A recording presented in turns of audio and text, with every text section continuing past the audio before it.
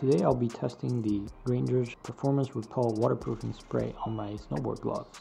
It is important to do maintenance on your gear during the off season so that it can withstand the abuse during the winter. Here's everything you'll need. The garment you want to waterproof, any spray bottle with water, the Granger's waterproofing solution, as well as a sock or rag. Step one of the process is to make sure your garment is free of any dust, dirt, or grime. Once that's done, you'll want to generously spray it with your water bottle to make the outer surface slightly damp. This will help the waterproofing solution more evenly coat and absorb into your garment.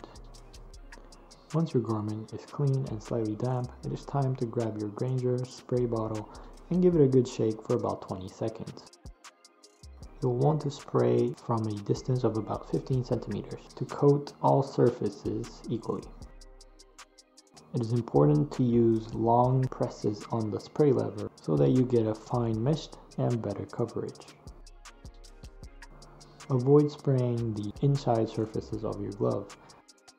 And finally, you'll want to wipe off any excess waterproofing solution from your garment with a damp cloth or sock. Let's see the final results and compare the before and after.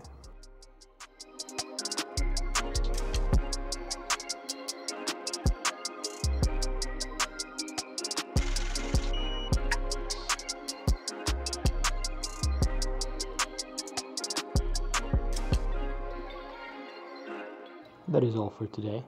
Thank you for watching. I hope the video helps. Let me know what you think about Grangers in the comments down below, and I'll see you in the next video.